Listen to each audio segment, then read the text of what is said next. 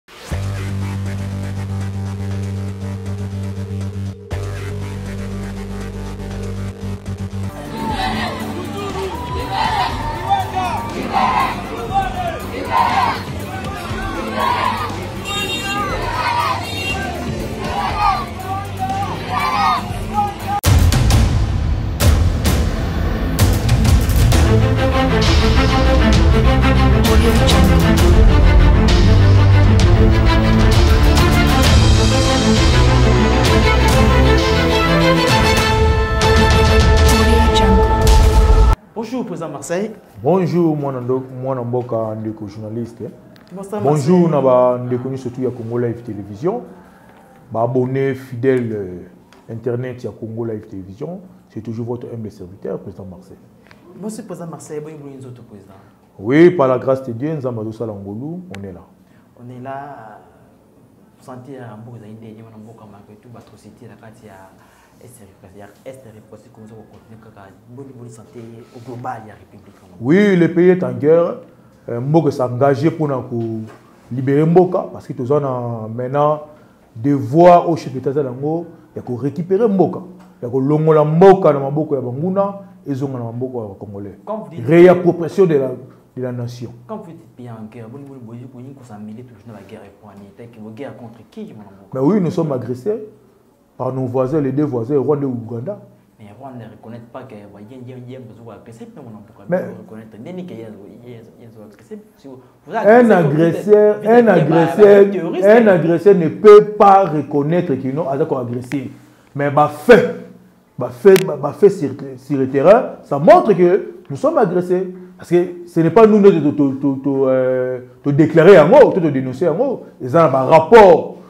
oyo ba experts ya nations unies basalaki e les états unis bautaki koreconnaitre que non RDC azali agressé par le Rwanda. Mais pourquoi eh, biso tout tozalaka na même communauté na ba Rwanda soki na agressé toyebi ke mboka oyo mosusu ozo agressé baninga mbano ezalaka likolo ya mboka wana sala ma deux décennies oyo république du Congo akezaka toujours république du Rwanda vis-à-vis ya agression contre ba IPP na ye mais tomonaka ata sini moko te ya mbano te contre rugby du Rwanda mwana mboka mais oui parce que ezalaki ezalaki guerre moko imposée par la communauté internationale il y avait une complot complot international contre la République démocratique du Congo notre cher pays mais tolingaki discours chef d'état asikaki koloba te que nous sommes euh, toza na état de guerre abaki to se préparer po medi bobenga yango guerre guerre chef de l'état ntango mpe bosala publicité ya guerre chef de l'état il a déclaré tout haut il a cité que non nous sommes agressés par le rwanda na dernier discours na euti kosala aza clair alobi que non azalaki na deux possibilités mpo na kotya kimia entre biso na bavoisin biso dès que akotaki na pouvoir première possibilité ezalaki diplomatique aize na ba na baforce nyonso tout diplomatique ndenge esengaka mpo na kotya pe kimia parce que ye vision na ye ya afrique ezalaki keno afrique oyo ya développement entre biso surtout ke biso na bavoisin na biso surtout oleke tozala na baguerre il a fallu ke non tozala na baprojet d'ensemble baprojet ya développement ya construction ya bapont ya baroute donc baprojet moko ke oyo ekosala ke non tovivre ensemble mais ce n'est pas le cas rwanda il s'est présenté comme l'ennemi giré donc option ya mibale oyo totikali na yango ezali euh, option militaire donc c'est clair président déclaré déjà bitumba contre baennemi ya république oyo ezali rwanda na uganda bitumba contre baremi kasi congo rwanda na uganda mais uganda oyo wana tobaki confiance na force régionale ayeba eh, koyeba kotya sécurité na kati ya est ya république ya kati ya est ya république kasi tikongo mwana mboka mais oui rwanda mpe tosalaki confiance wana toseki confiance enemi akotikala enemi ezalaki piège oyo oh, keno topiejaki bango tolakisa sikoyo na communauté internationale tolakisa na monde entier mauvaise foi ya ba les deux pays wana rwanda uganda moi bon nalingaka mpe koincrimine bapays yango te parce que bapeuple wana peuple ougandais na peuple rwandais baza bango innocent ce sont des dirigeants rwandais lugandais nde baza na problème na rdc mais lokola baza koengage bapays wana c'est pour ça toyebi que non nous sommes en guerre contre le rwanda et l'ouganda vous êtes en guerre contre ouganda et, et rwanda deux pays oyo deux pays voisins adc na katikati azali na guerre na bango Boni boni attaque ya FARDC sur le terrain vis-à-vis ya ba groupe terroriste M23.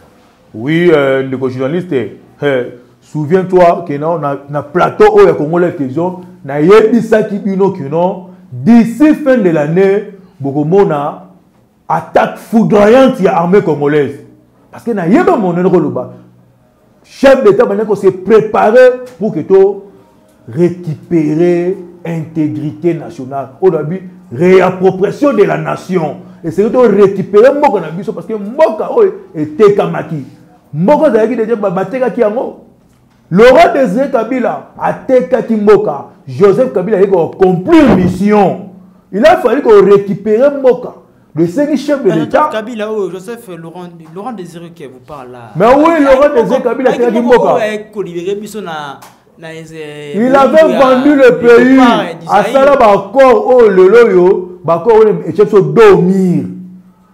Si aujourd'hui peuple congolais azo kufa, si aujourd'hui congolais kufi bande plus au moins 24 ans à cause ya ba accord au Laurent Désir Kabila salaki. Et Joseph Kabila a yeko accomplir yango. Donc mboka oyo etekamaki. Dezo senga patriote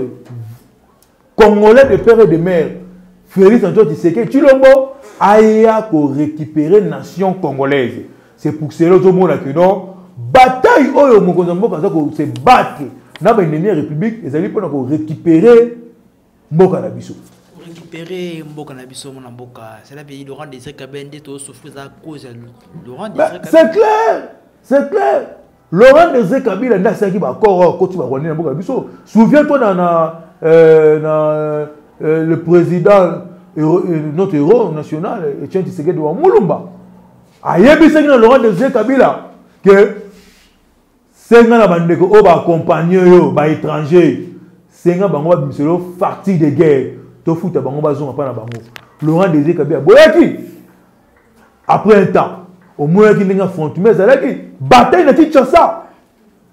omonaki ndenge esalemaki elelo kontinite ya bitumba wana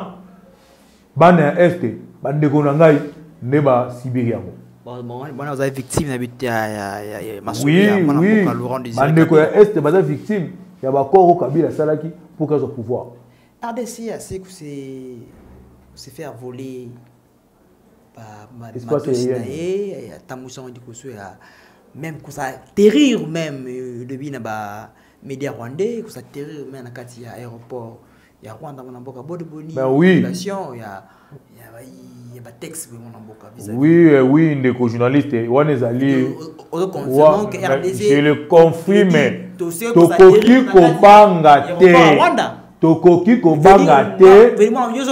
moi ah. moi ngai je suis fier de ça oui je suis fier de ça tokoki kobanga te parce que oyo rwanda asali na mboka na biso eleki ebele abomi bakongo plus de 10 millions de congolais bakufi à cause ya baattaque barbarie ya rwanda ça fait plus ou moins 20 ans oyo na communauté te nyonso bazalaki bouche be congolais aza kolela na propre sort na ye congolais aza kolela azokufa na mboka na ye toke toderange barwandais te toderange baougandais te mais baza koboma biso communauté internationale baza kotala bongo soki lelo biso tosurvole espace aérienne ya rwanda eza lisumu esengeli esengeli mapata ekweya parce que tosurvole espace ya yango c'était une annonce c'est oui non biso provoqué bango te toannonsaki bango trop c'est trop il est temps maintenant république démocratie du congo lokola un grand pays mboka oyo ndenge nzambe ndenge nzambe aplace yango na afrique mpo tosécurise to sécuriser afrique mobimba to sécuriser afrique ya grand lac to sécuriser afrique de l'est maintenant tozwi siko baresponsabilité na biso en main tozongisi tomizongi na place na biso ya gendarme ya, ya gendarme ya afrique de grand lac voilà armée congolais ezongeli role nango ya gendarme ya afrique de grand lac toannosaki na rwanda trop c'est trop blague esili maintenant toza kotrone sur l'afrique vous êtes en train de trôner sur l'Afrique ndenge olobi mwana mboka makasi wana bosi kozwa yango wapi mwana mboka tobe rdc azali sous embargo ya communauté internationale ya kosomba mandoki te mwana mboka tosi komona déplacement ya mwana mboka ministre ya défense julia kabanda na kati ya mboka ya, ya turque dans turquie plutôt koluka nini coopération ya nini biso wana droit kosomba matosi te soki badrone esi kokoma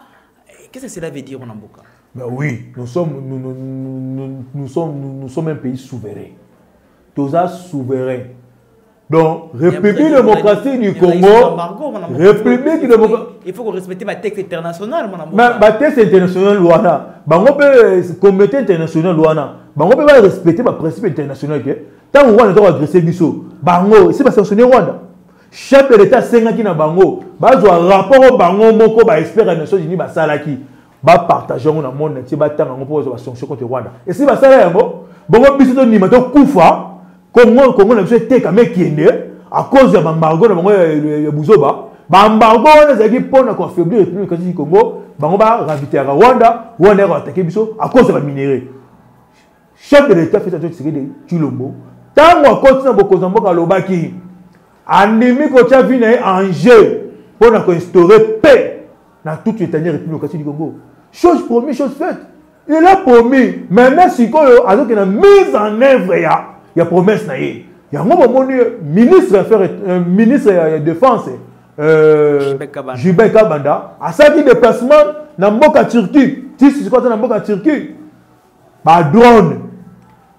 déjà edevanse ye eye mais ye azali parce que tozwi bibundeli ebele tozali congo mboka monene toza na potentialité makasi toza na barichesse na biso oyo ezokopermettre biso tozwa mandoki namoni replikasi congo déjà apesi mokongo deja na comité international tokopesa mokongo nde ndenge nini biso biso mpe tozali comité international parce que non respect batexte ya nations unies nous avons compris nous avons compris la complicité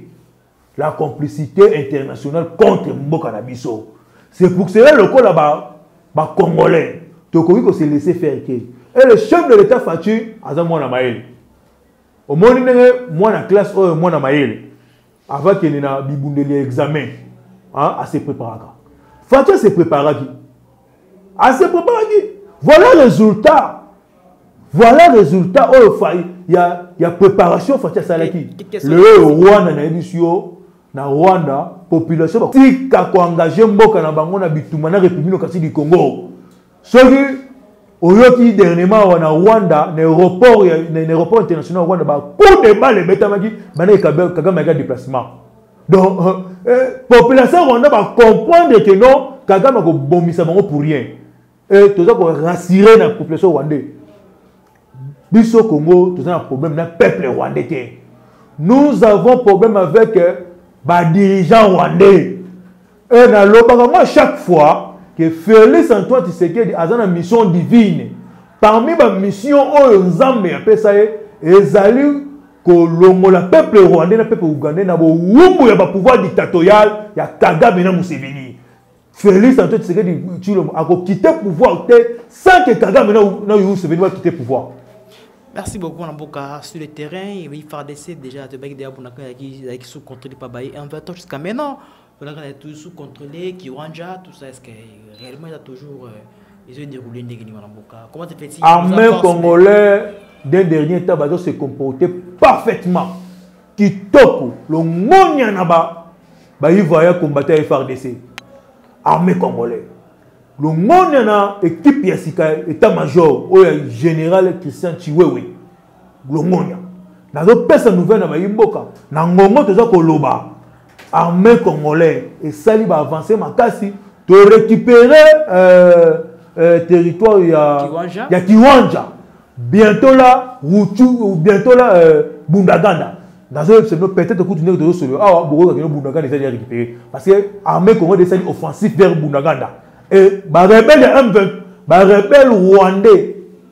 ba rebelle rwandais ya M23 baza kokima baza kokima po toke na moto omuna wana trop volé hein sur le plan aérien sur le plan euh, terrestre et sur le plan naval bibundeli mpe ya force naval eza eye na edo na este kuna donc peuple ya ya este bazali d'accord na chef de l'état euh, chef de l'état na ngambo mpe ya m23 tosi komona mpe soutien total ya bai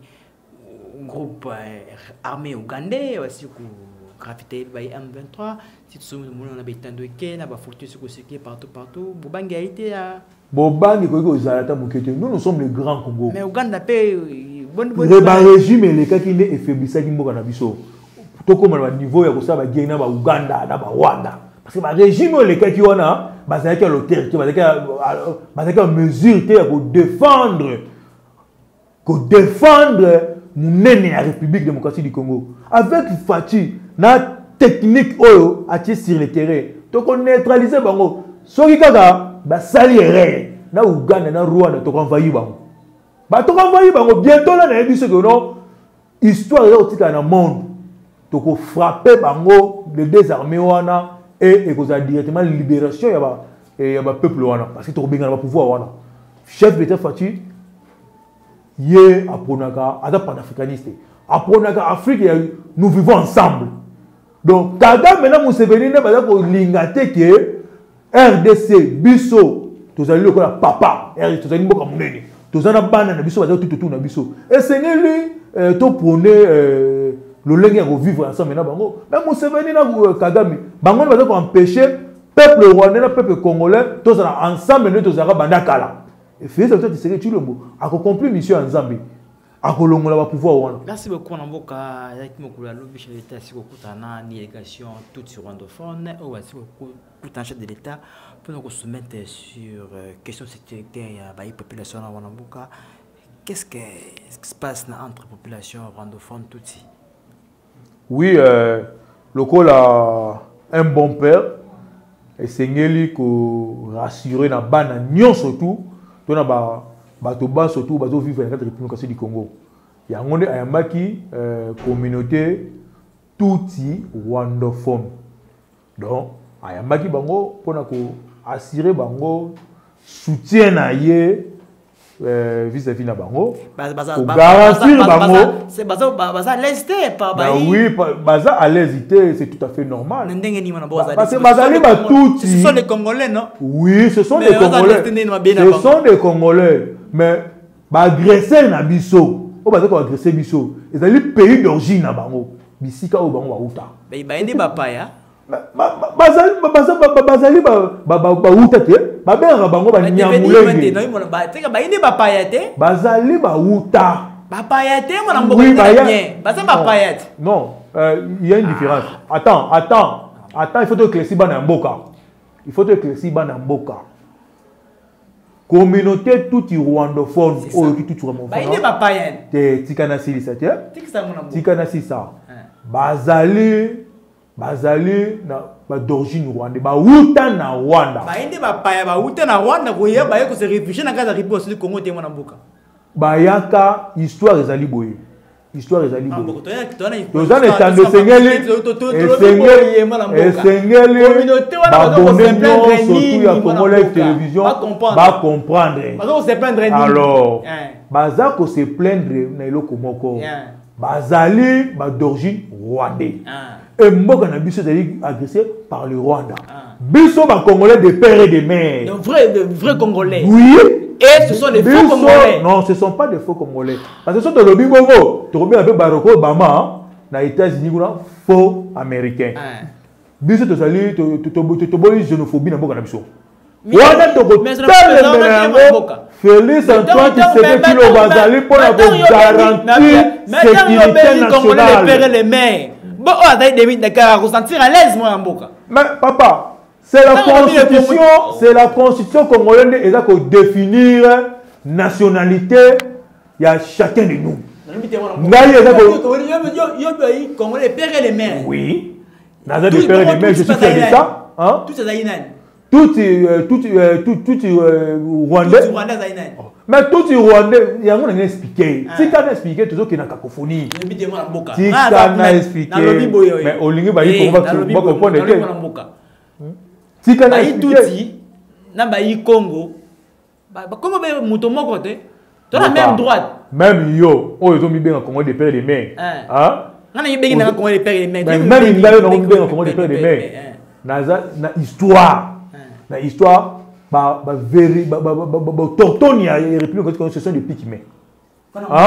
biso tutouta te mwana mboka marseille toexplike bayi mboka te tolobi boye mwana mboka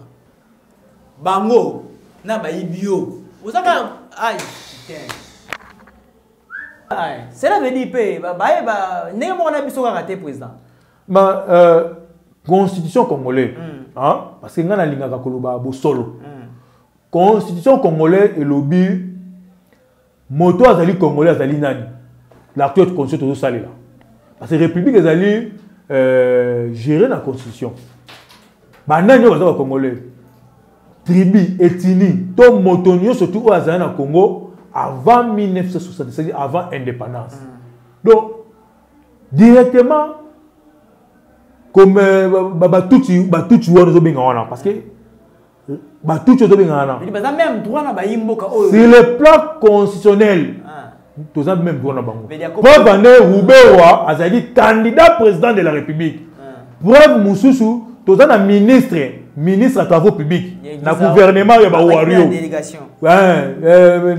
ndeko kizaru hmm. azali ministre ministre ya nation congolaise donc ce n'est pas moi nde nakoki koanie nationalité na bango oui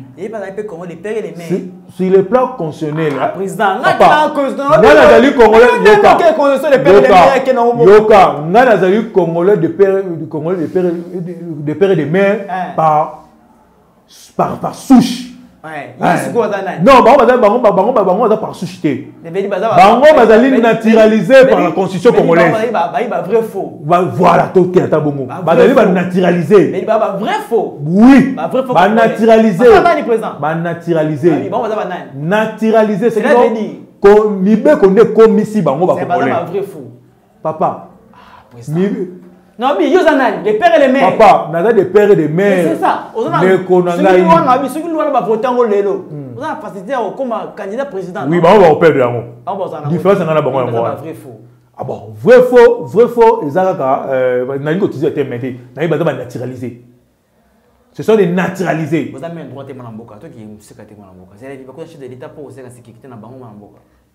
bake koluka euh, sécurité na bango eza droit na bango mm. et chef d'état a rassuré bango que non bakozala euh, un peu bakozala mpe na république du congo parce que na kati na bango wana communauté tutsi rwandophone wana oyo bavivaka na république du congo mm. eza na baoyo bazali derrière république mm. Ah, nayebi soki no ye ministre Alexis Kizaro azali ministre ya nation azali mpe ye baministre mpe oyo euh, bazosala mosala bien na kati ya gouvernement bango bakadela nation me eza mpe na bato mosusu batuti rwandophone wana oyo bavivaka awa bango mpe bako soutenir rwanda la plupart ya barebele ya m23 ah? kagame asalaki ndenge nini aye kozwa batuti rwandophone wana bavivaka awa amemi bango na rwanda akomisi bango m23 c'est pour cela toretire bango na banationalité baoyo nyonso to bakei baoyo nyonso to baza na rwanda mm. batuti wana yango moni keno toretire bango nationalité ça c'est fait Même les États-Unis, soki ozali ozali américain de souche te osali mbeba bakoretire nationalité américaine même na france baretire ba nationalité soki ozwi nationalité ya mboka ya bato soki oza d'origine te kokanisa te keno soki osali mbeba mboka wana bakoreconnaitre yo lokola euh, français d'origine te bakoretire nationalité bakoki to nationalité ozonga nationalité d'origine na yo toretire bango nationalité bango banso to baoza kuna oyo bake kokota na jacques kagame toretire bango nationalité batikali na rwanda nationalité d'origine na bango merci beaucoup mwana mboka sardo tobeta biso esi kotala mpe na kati ya ya ensemble tosi kona mwana mwana ti mipululu esi kodonese bayi bati valeur babuki esi concernant ya ministre te politique eza likambo nini ezoleka na kati ensemble mwana oui euh, nalandi badéclaration ya honorable député ntingi pululu mais nakoti vraimen na mozinde nango nano te parce na percevoir baélément vraimen lisusu te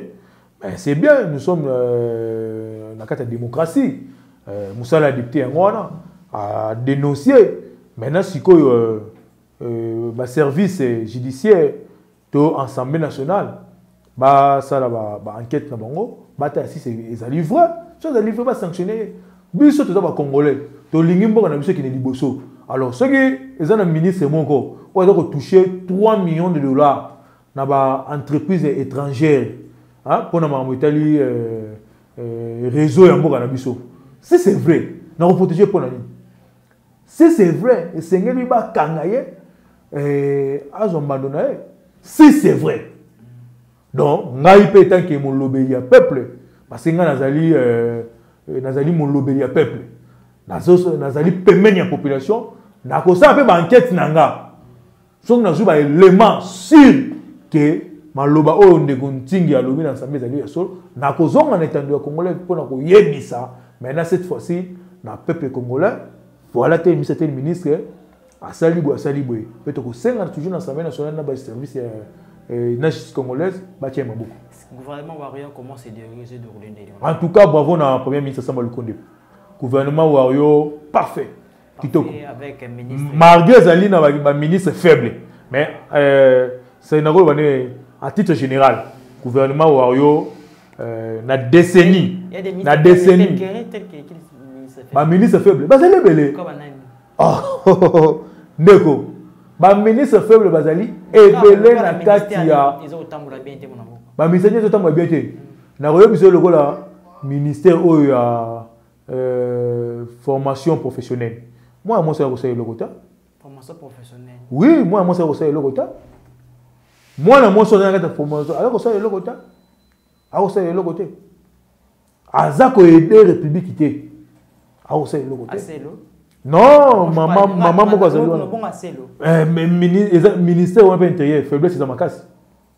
faiblesse eza makasi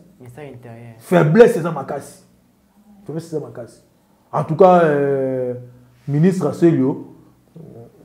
aaméliorer aaméliorer so remanime ye lelo vraiment na ndimi ta kobika faiblesse eza makasi na camp ya fcc wana boka soit clair oyo oh, eye kosadire na kati ya union sacré motuni yo soki chef de l'état toko parmi conseiller kolinga chef de l'état azala ekenge ndenge ozala naye mwana mboka baye koadere na union sacré oyo basede na union sacré mais toza na bango moto nini oza vrema na bosolo na ye te vrema ozomona ye non ce sont des congolais ce sont des congolais ce sont des congolais oyo baye koadere na vision ya mokonzi ya mboka tokoboya nayebi biso gouvernement oyo ya bawario eza na baministre mosusu bautaka na fcc te basali eza na baministre oyo nayebi biso lokola ndeko euh, euh, ndeko ndeko liau hmm. euh, il est le meilleur des meilleurs aza meilleur ngai nakoki soki no azali azali ministre ya yambo donc en terme ya bato basali mosala malamu aza le premier awuta eh, ah, na fcct ah, bon ndeko shebo oseni su faiblesse eza makasi ya faiblesse eza makasi donc eza lo na bango bango eh, ministre de l'intérieur bango banso wana baza vraimen na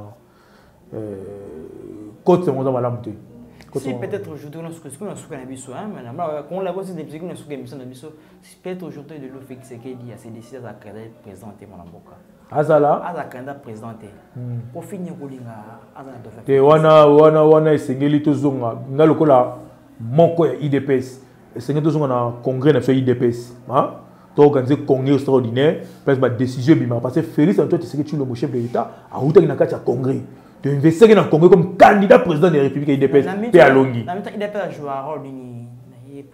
mais azali euh, pour le moment nde bayebaki no azali euh, mise en disponibilité ah. mise en disponibilité mais il reste membre de l'idps il reste membre ya l'idps pourquoi babenga idps parti présidentiel parce que mokonzi ya mboka aza membre ya parti politique idps akita na idps te akolongwaka mpe idps te parce que idps ezali parti de souche na ye kabuya jean parti bien euh, en tout cas euh, il y a une différence entre kabuya et kabundu depuis départ ya kabundu en tout cas kabuya azosala baeffort azosala baeffort euh, félicitation acontinue na ligne wana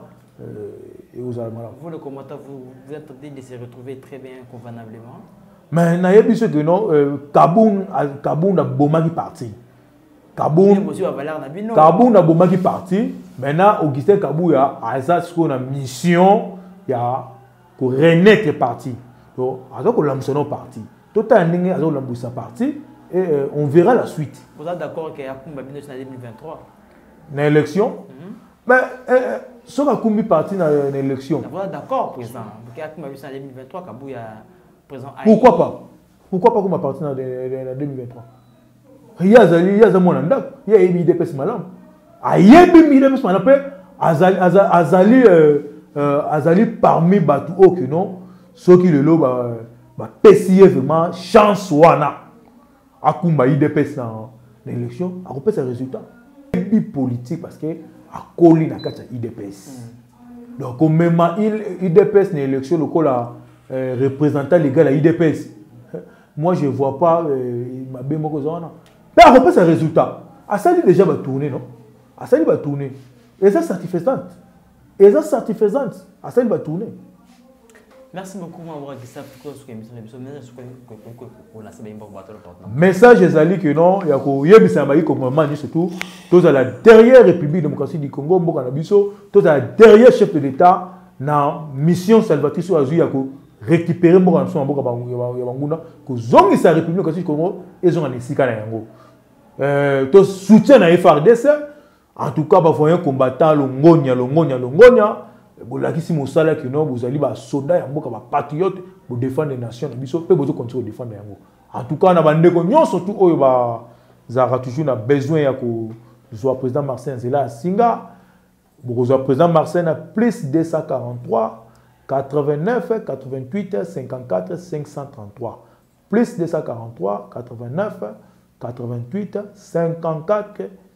533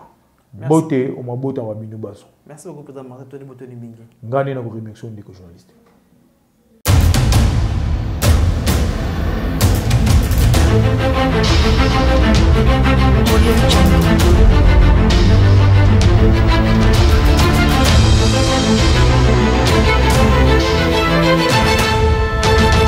Audio Jungle.